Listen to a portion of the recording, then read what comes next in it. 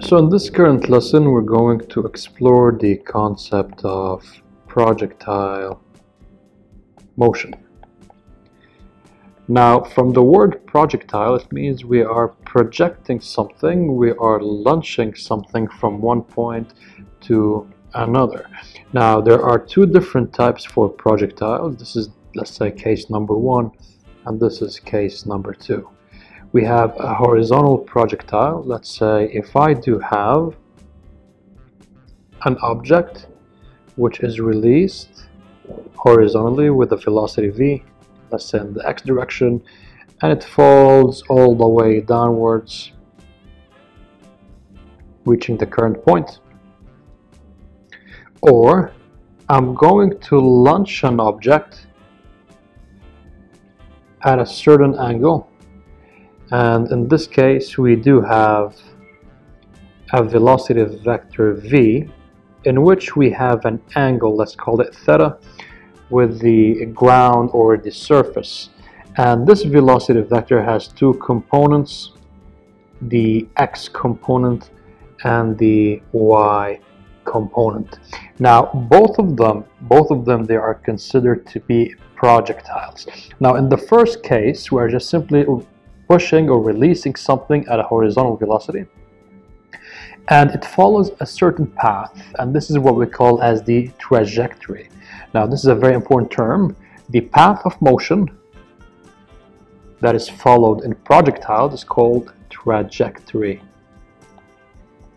It just simply shows you the path that these objects are following, whether in case number one or in case number two. Now, what's so special about projectile uh, motion? Now, first of all, we have to keep in mind we have two different cases. This is case number one, and this is case number two, where case number one, we are releasing an object or launching something horizontally and just simply goes all the way down towards an endpoint. It could be off a cliff or off a table, irrespectively.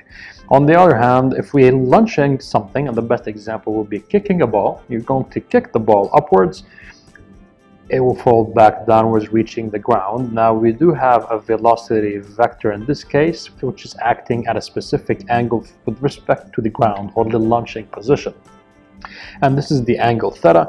And the components in this case for this vector are going to be broken down into two parts the x component and the y component. Now it's important to keep in mind that we should know how to resolve and get these components. Let's say if I need to find my Vx I'm going to say Vx equals to V cosine theta. And Vy equals to V sine theta. Now I'll give you a small trick. If the angle is trapped between the vector and the axis, this will be the cosine. If the angle is opposite to it, in other words, the angle is far from it, so in this case we have nothing trapped between the velocity vector and the uh, y-axis, then the y-axis will be a sine theta. So let's say if I reverse the cases, if I say for example I have a vector v, and I do have the following angle theta and I need to find the components. In this case I have the Vx and the Vy Vy equals to V cosine theta in this case and the Vx equals to V sine theta in this case. Why? Why did I switch? I said Vy is V cosine theta instead of Vx because the angle's position has changed now. So the angle is trapped between the y-axis and the actual velocity vector we have theta between them. But on the other case, in the other case, we have the vector v and the theta, which is trapping or trapped between the velocity vector v and the x-axis in this case. So this is a small trick that will help you distinguish how can you get the components. But it's very important, first of all, to know what are the two type of projectiles that we have, case number one case number two and how can we in case number two get the components for the velocity vector in both axes the x and the y? Now what's so special about the projectile motion? Now the projectile motion is basically two different motions. Let's say I'm going to go for case number two in this case and I'm going to be releasing something upwards and falls all the way downwards. I have a certain velocity v with an angle theta and this is v. And I have the components in the x and the y direction. So in this case vx equals to v cosine theta and vy equals to v sine theta. Now in case number one in the previous case let's say where we have just simply releasing something horizontally this way. In this case I do have the velocity in the x direction only. However, in the y direction at the beginning, at the beginning of the motion, we have no uh, component, let's say, for the uh, y direction. So the both cases, they are quite different at the beginning. In this case, we do have two components, but the first case is simply we have vx and we have vy equals to zero at this current starting point. But what is so special about the projectile motion? Now, the projectile motion is basically two motions combined together. If we have we have the motion in the x direction, let's say, and we have the motion in the y direction. What does that mean? If you take a look at this current example right here, we have this motion, which is covered in the x direction, and we have the vertical motion upwards which is covered in the y direction. If I want to break them down separately, let's say I have a small ball right here and I'm going to be releasing it in the projectile in the following motion, let's say, and I'm going to consider both motions separately, the x and the y motions. Now in the x direction, the velocity is constant. So we have constant velocity and we have zero acceleration, no acceleration whatsoever. Why? Because in this current direction, the net force is zero and the only acceleration which is taking place after the release is the acceleration due to gravity, which is perpendicularly downwards. So, so, so, so you'll notice that in the y direction we do have a constant acceleration because we are under the influence of gravity and the acceleration of gravity is 9.81 meters per second square. Now for the velocity v, velocity will change as changing. So we have two separate motions in this case. We do have the x and we have the y directions. If we combine both of them, we are going to have this projectile motion. And the best way to think about it, if you have a free fall, you have an object falling freely downwards, it's a great representation for the y-axis motion, which is if you have a ball and you simply drop it downwards, free fall, this is a great example for the motion under the constant acceleration in the y direction. And if you have an object moving horizontally with a constant velocity let's say a car a sphere whatever it is where you have constant velocity. So the combination of these two motions together will give you a projectile motion. If you are moving with a constant velocity in the x direction plus free falling, let's say, in the y direction, combine this motion with this motion, you'll end up having a projectile motion. One of these two cases, this case or this case.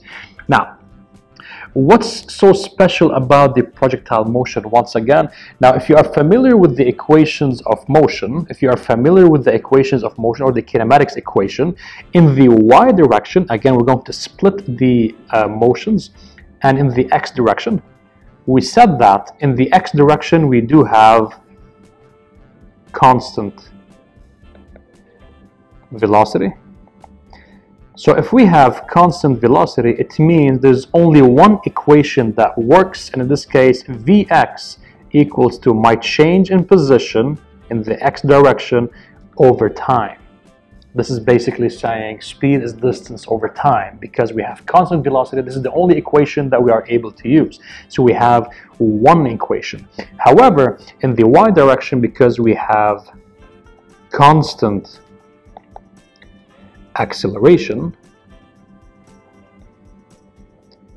because we have constant acceleration, then we're going to apply the equations of motion under constant acceleration or known as the equations of kinematics. So in this case, we do have three equations that we need to use.